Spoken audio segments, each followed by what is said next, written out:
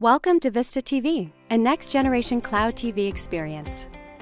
To get started, unpack your TV box. You've received four pieces of equipment TV box, an HDMI cable to connect the box to the TV, power cable, and a remote control. Use the HDMI cable to connect the TV box to your television. Next, connect the power cord to both the TV device and the wall outlet. Now your device should be powered on. You may need to switch the active source on your television to the HDMI port the device is connected to. You'll likely need to use the input or source button on your TV or TV remote. Your TV box comes with a Bluetooth remote control. Connect the remote control to the box using Home plus Apps button simultaneously. If you're having trouble connecting the remote control, try getting closer to the box to 8 inches. Once you hear the beep, press OK. Now your remote is connected to the TV box. Select the language and then select region. Your TV box comes with Wi-Fi capability. You'll now be asked to choose the Wi-Fi. You can either choose to transfer your Android phone's Wi-Fi to your TV box, or you can skip this option and choose the Wi-Fi from the nearby options.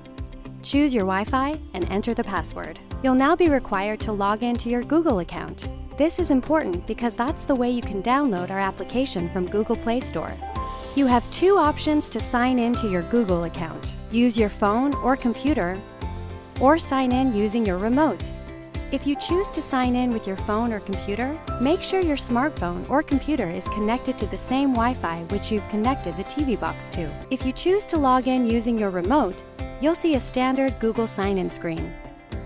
Enter your Google account and password. Accept the terms. You can choose to allow location, which lets Google improve your streaming experience and shows you personalized content.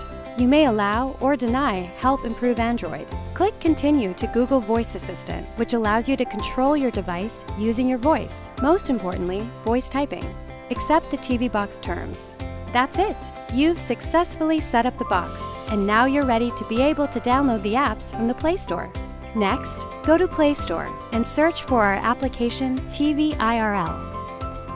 Install and open the application. Select Channels click on Install Playlist.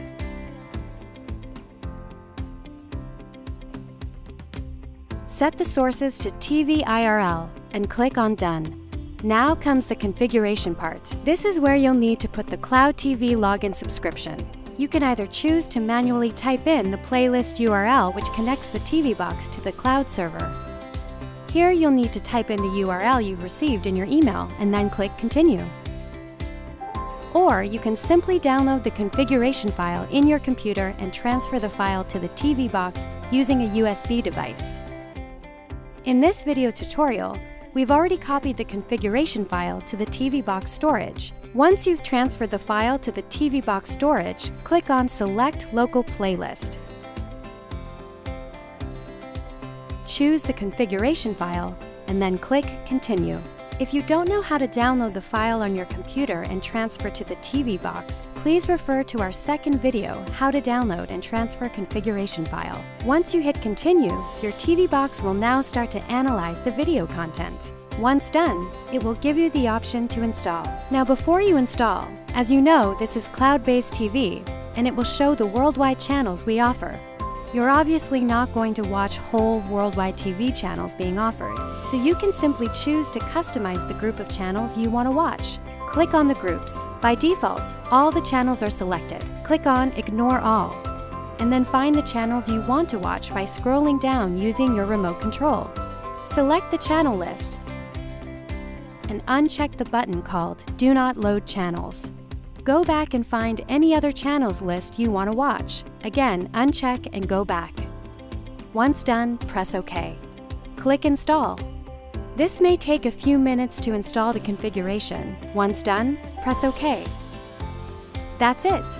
Your live TV is now ready. You can press the Home button on your remote control to be able to access more than 5,000 apps available on Google Play Store, such as YouTube, Netflix, and many other entertaining apps. Or press Live button on your remote to be able to watch live TV channels. You can also see the program guide to see the whole list of channels you've selected and select any specific channel you want to watch. Enjoy your TV. Line w HBO Go.